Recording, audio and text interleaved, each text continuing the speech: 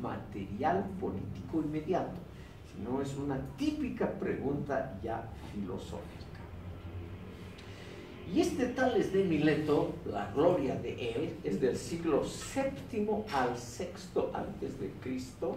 No hay datos eh, muy claros sobre su vida, pero eso sí, una anécdota que les voy a contar ahora mismo, que tiene que ver con la filosofía misma.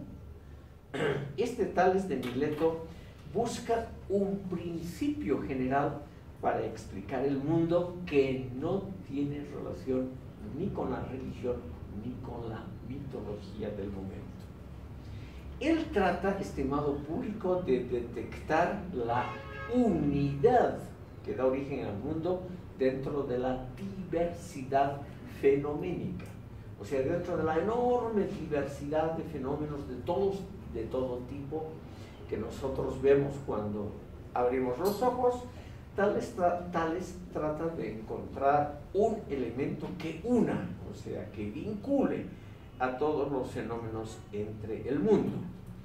Y él dice, estimado público, es lo único que se sabe de él, que ha dicho que todo proviene del agua, no de la voluntad de los dioses, no de la voluntad de un, semi, de un semidios, de un héroe, como en las, en las protofilosofías mesopotámicas, sino que todo proviene del agua y de sus variaciones, o sea, de cómo el agua pasa de un estadio a otro.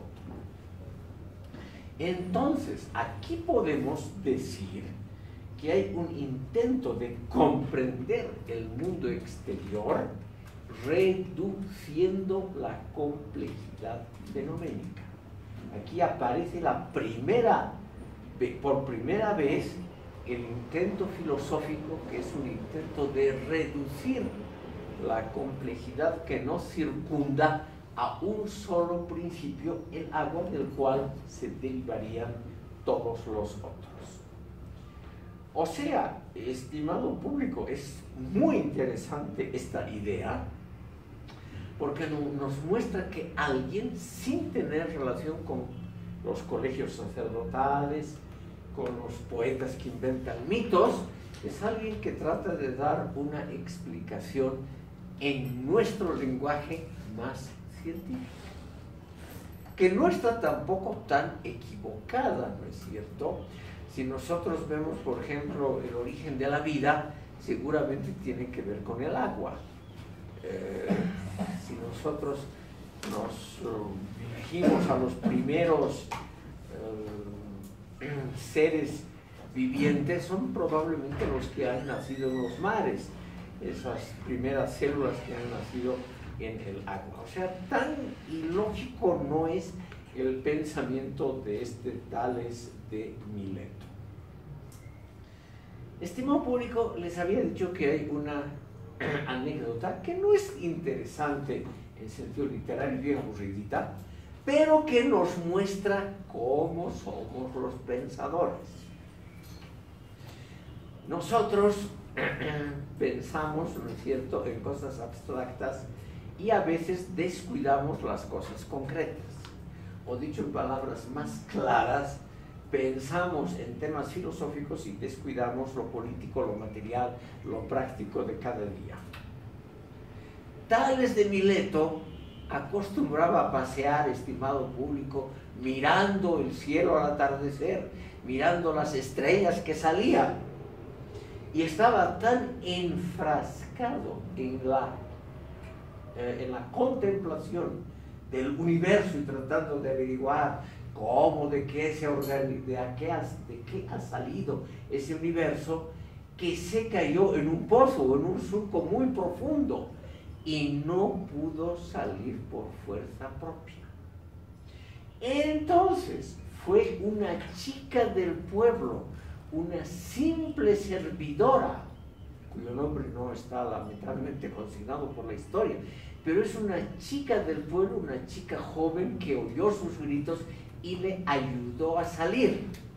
Y la chica le dijo lo que dicen todos o casi todos a los filósofos Seguramente en el entorno de amigos de ustedes o familiar, tal vez han escuchado esas palabras.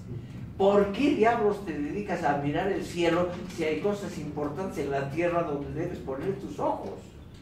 ¿No es cierto? Lo que significa, ¿para qué estudias filosofía pudiendo estudiar administración de empresas? Eso es lo que la chica le quiso decir. Entonces, para que vean que desde un comienzo ha habido, estimado público, una opinión pública muy desfavorable a la filosofía. Nos consideran seres que no vemos los problemas cotidianos, nos tropezamos y caemos por culpa de ellos porque estamos enfrascados en la discusión de, de, cosas que no tienen valor práctico, como pensar de dónde vienen las estrellas o cosas por el estilo. Tales mismo, sin embargo, era un tipo inteligente. Y el hecho de que estudió mucho las estrellas, eh, estudió muchos fenómenos naturales de largo plazo, le sirvió, estimado público, para predecir una época de sequía. Él obviamente, perdón, para pensar una época de sequía, no lo dijo públicamente. Él notó por muchos signos de que iba a venir otra vez un ciclo de sequías que son normales en la historia universal y más en el Mediterráneo. Y entonces él compró una enorme cantidad de aceitunas. O sea, en la época todavía próspera, de precios bajos, él acumuló aceitunas con las que se hace el aceite, todavía hoy en el Mediterráneo. Compró también vino, que también se puede almacenar por periodos muy largos de tiempo. Y cuando vino la época de las vacas flacas, o sea, de la sequía, él vendió a precios muy altos, haciendo una pequeña fortuna que le permitió vivir largamente el resto de su vida.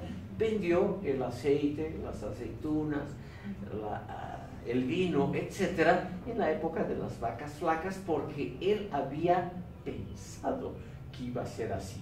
O sea, de algo ha servido realmente el, observar a las estrellas. Eso ocurrió años después cuando esta mujer, esta chica, ya era una mujer adulta. Y ahí Tales le dijo a la frase, ves que sirve nomás hacer, eh, observar las estrellas, yo tengo ahora una fortuna y no tienes tú que comer. Ven ustedes que la filosofía a veces sirve no más para la Vamos a pasar, estimado público, al segundo pensador de la misma escuela de Mileto, que es mucho más interesante filosóficamente, que es Anaximandro o Anaximandros de Mileto.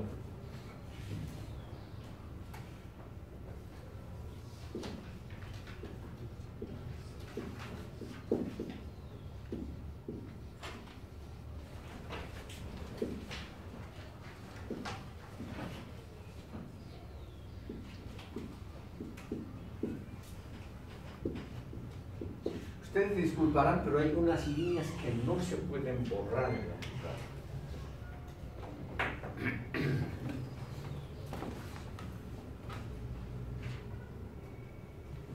Aquí ya tenemos a un filósofo 100%.